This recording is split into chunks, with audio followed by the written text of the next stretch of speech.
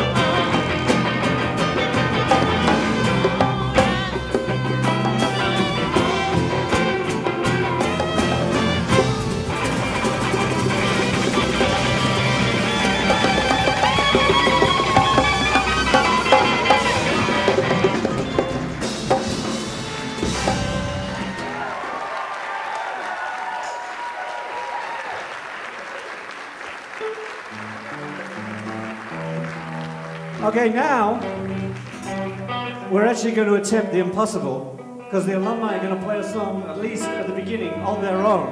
And we might join with them a little bit later.